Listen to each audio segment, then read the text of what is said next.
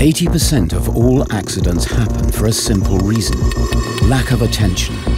The Opel Eye safety system pays attention to everything you might miss. It constantly monitors the scene around your car and warns and supports the driver when need be.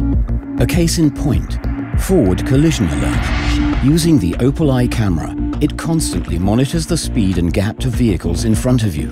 To prevent collisions, it signals a warning and if necessary, brakes automatically up to speeds of 60 kilometers an hour. The traffic sign assist recognizes changing LED signs and all relevant road signs.